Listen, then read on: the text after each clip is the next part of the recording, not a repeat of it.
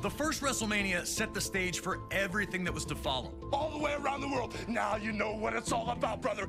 Celebrities were out in full force, showing that this was the place to be. WrestleMania 2 pushed the boundaries, taking place in three different locations New York, Chicago, and Los Angeles, delivering three huge main events. But it would be WrestleMania 3 in 1987 that truly displayed WrestleMania's full potential. And for our first match of the 2K24 Showcase of the Immortals, we go into the first verified WrestleMania Classic. The legendary clash for the WWE Intercontinental Championship between champion, the Macho Man Randy Savage, and his challenger, Ricky the Dragon Steamboat. Intercontinental Champion since February of 1986, Savage tore through anyone who challenged him. That included a successful defense against George the Animal Steele at WrestleMania 2. A clash between Savage and Steamboat during a late 1986 edition of Superstars would see the Macho Man retain via countout, but that wasn't good enough. He would launch a vicious attack on the Dragon after the match, taking him out of action. Savage would attempt to duplicate the attack on Steamboat's friend and former opponent George Steele during the first Saturday night's main event of 1987. Fortunately for the Animal, Ricky would make his well-timed return for the save, leading to the rematch between the two at WrestleMania. What transpired between the two combatants can only be described as art. A fast-paced, high-action classic unfolded in front of 90,000 plus in attendance, with both men coming so very close to victory on a number of occasions.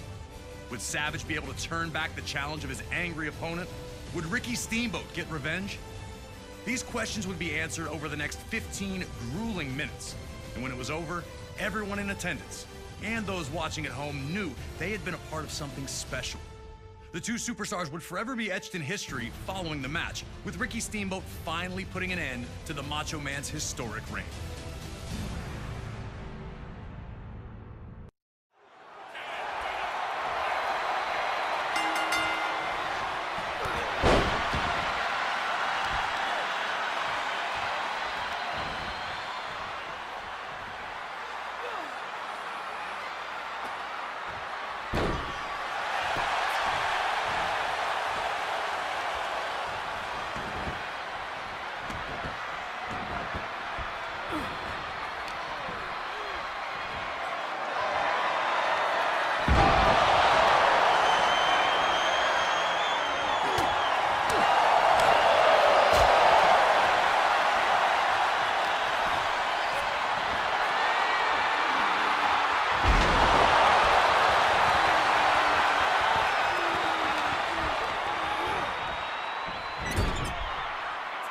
It was all action from the moment the bell rang, and these two didn't give each other a second to rest. Ricky Steamboat fighting to avenge a career jeopardizing attack months earlier by not only defeating Savage in the ring, but also ending his reign as Intercontinental Champion. The aggression was almost uncharacteristic from Steamboat. Was Steamboat too angry? And would that lead him to making a costly mistake? Was Steamboat too focused on hurting Savage and not on winning the match? Had the Dragon taken enough time to recover in the first place, or had he rushed back in the hopes of humiliating the Macho Man under WrestleMania's bright lights? Surely the presence of Miss Elizabeth's not-so-secret admirer, George the Animal Steele, was going to be a distraction to the Macho Man, who'd look to keep Steele away from his manager at all times. Could Savage shut all that out and lock in on his challenger? Despite the external factors, these two appeared to be firing on all cylinders once they settled in. There was a real sense that this match could be, and was going to be, something special. The fans were captivated by the constant back and forth battle, with no one really able to maintain any type of control in the early portion of the match. The Macho Man appeared almost thankful to get a moment to himself after dumping Steamboat back to the floor, letting you know that Savage understood he was in a fight unlike any other he'd been in before. Things were only getting started.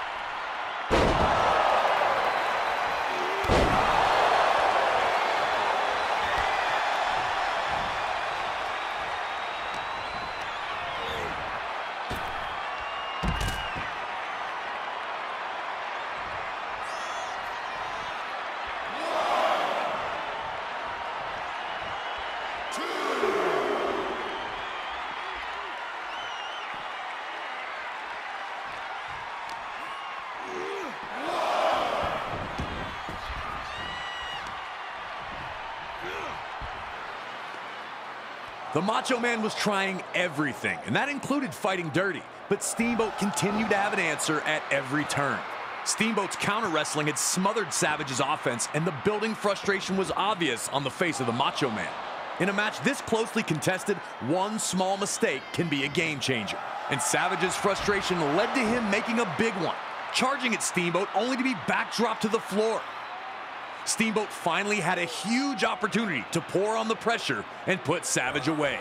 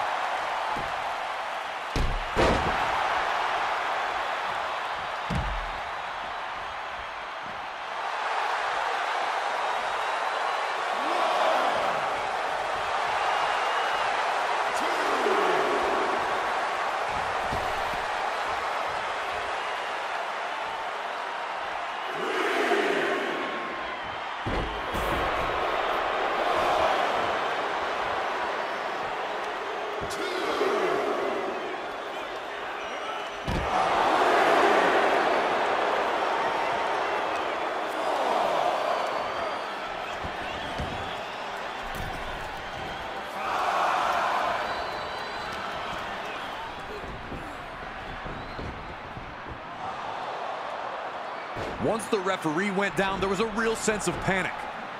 Savage quickly hits his flying elbow, but obviously there was no official to count. The Dragon was grounded for now, but there was no way Savage had already put his fire out. After all the two had gone through, how was it going to end?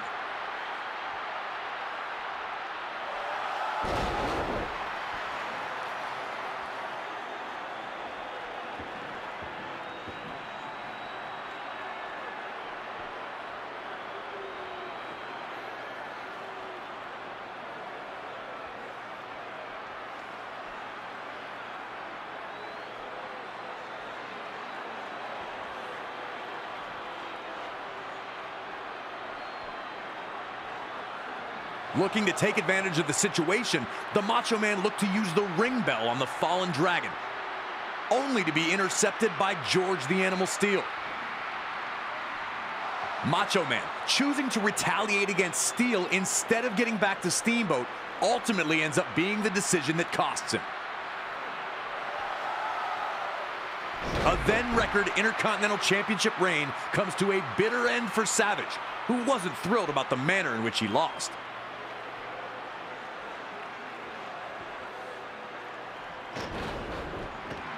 And Steamboat's counter wrestling remains the key to this match, once again getting him out of trouble and earning him the victory. Hard to feel bad about a guy who tried to use the ring bell twice. This match, over 35 years later, is still a certified classic. The athleticism is incredible. Continental Champion, Ricky the Dragon